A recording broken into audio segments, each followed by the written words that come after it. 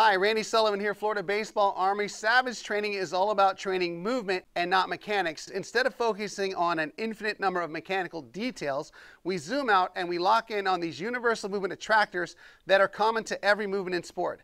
One of the most important ones is keeping your head still.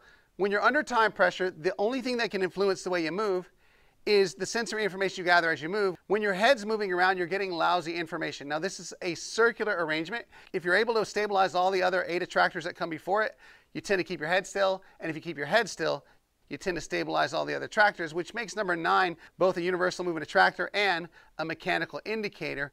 Birds of prey keep their head still. You can see here that cheetah, the fastest land animal in the world, when he runs, he keeps his head really still. And the cheetah of pitching of our generation, Jake DeGrom, keeps its head really still too. When you don't keep your head still, it tends to disrupt the sensory information, and oftentimes it's the result of overcooking your mechanics. Ben Weber, one of our star clients from Minnesota, he's headed to the Air Force Academy next year. Two years ago, when he was grunting and starting to throw 82 to 84, really overcooking the back leg, the knee goes first, and it's not a hinge but a sit, and he has to jump out of it and then watch his head yank laterally right here.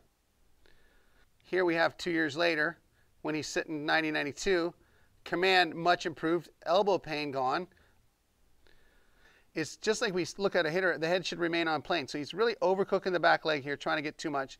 So we draw a line from the depth of his load down the slope of the mound.